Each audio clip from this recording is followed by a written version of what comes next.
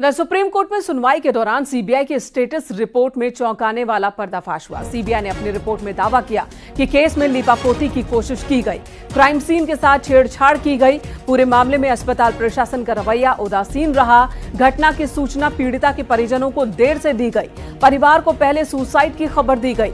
Murder को suicide बताने की कोशिश करना संदेह पैदा करता है। वारदात पर पर्दा डालने की कोशिश की गई। कोर्ट ने भी कहा कि पुलिस डायरी और पोस्टमार्टम के वक्त में भी अंतर है। आरोपी की मेडिकल जाँच पर भी कोर्ट ने सवाल उठाए हैं। तो ये कोलकाता रेप कांड, जहाँ पर एक ट्रेनी डॉक्टर के रेप के बाद हत्या कर दी गई। उस मामले में सीबीआई जाँच कर रही है। आज सीबीआई को स्टेटस रिपोर्ट सौंपना था। इस स्टेटस रिपोर्ट में सीबीआई ने उन तमाम संदेहों का ज़िक्र किया है, जिसकी चर्चा आम जनता भी कर रही है।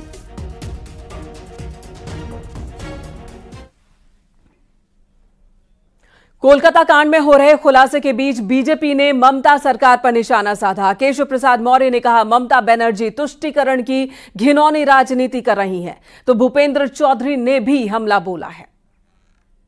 ममता बनर्जी जी की सरकार तुष्टिकरण की घटिया घिनौनी और पिछड़ा विरोधी राजनीति की अपराधी है। ऐसी सरकार जिसकी सरकार में पश्चिम बंगाल में कानून व्यवस्था ध्वस्त हो चुकी है। लोगों के जान बचाने वाले डॉक्टरों की भी जीवन और उनका सम्मान और उनकी इज़्ज़त सुरक्षित नहीं है। और उसी के साथ, जब पिछड़ों का इस प्रकार से हक छीनने का काम किया जाए तो वह एक गंभीर विषय है, बहुत चिंता का विषय है। ये दुखद है जिस प्रकार का बर्ताव महिला सुरक्षा को लेकर इस प्रकार की घटनाओं को लेकर राज्य सरकार का है तो ये कहीं ना कहीं दुखद है। लेकिन मुझे विश्वास है कि संवैधानिक संस्थाएँ और मान्य न्यायालय के अधीन विषय है तो जो भी विधि संबद्ध इसमें कठोर कार्रवाई है कठोर कार्रवाई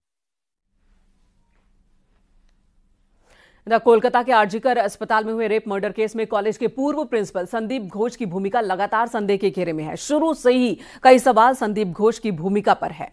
और अब कॉलेज के पूर्व सुप्रिंटेंडेंट अख्तर अली ने भी न्यूज़ एटीन से खास बातचीत के दौरान संदीप घोष पर कई गंभीर आरोप लगाए हैं।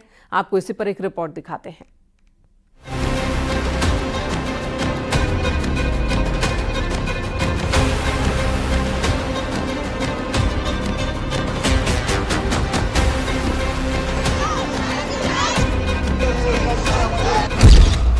आरजीकर मेडिकल कॉलेज पर संगीन आरोप।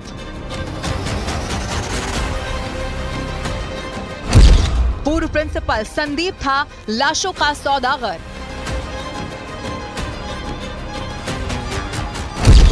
अस्पताल से तस्करी का इंटरनेशनल कनेक्शन।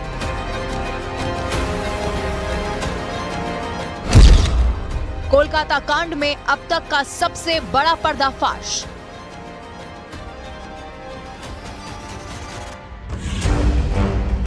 जैसे जैसे कोलकाता के आरजीकर मेडिकल कॉलेज में हुए रेप और मर्डर केस की जाँच आगे बढ़ रही है वैसे वैसे अस्पताल पर नए और सनसनीखेज आरोप भी लग रहे हैं। इसी बीच कॉलेज के पूर्व डिप्टी सुप्रिंटेंडेंट अख्तर अली ने जो खुलासा किया है, उसके बाद तो इस केस में नया भूचाल आ गया।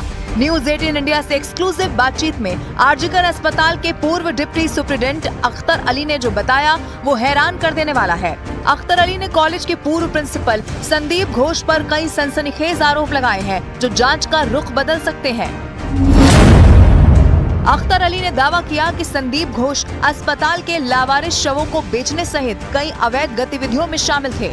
अख्तर अली ने यह भी आरोप लगाया कि घोष बांग्लादेश में बायोमेडिकल वेस्ट और मेडिकल उपकरणों की तस्करी में लगे हुए थे।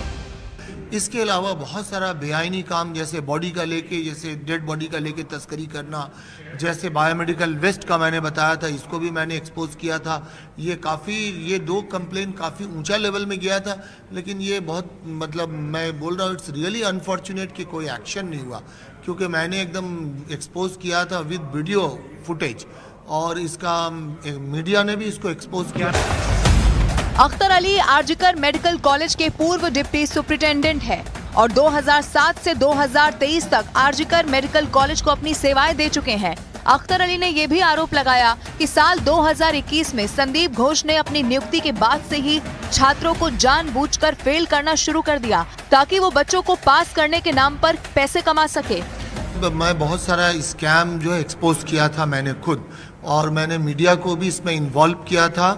तो एक पहला जो सबसे पहले मैंने पकड़ा था वो स्टूडेंट लोग को फेल करवाते थे।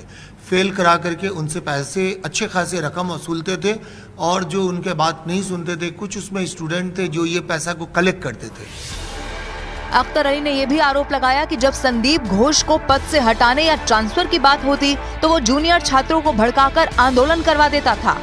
फिर उन्हीं जूनियर स्टूडेंट को वो शराब पिलाते थे उनको पैसे का लालच लत लगाते थे और उनसे आंदोलन भी करवाते थे, क्योंकि आपने देखा होगा कि ये आंदोलन भी काफ़ी काफ़ी होता था वहाँ।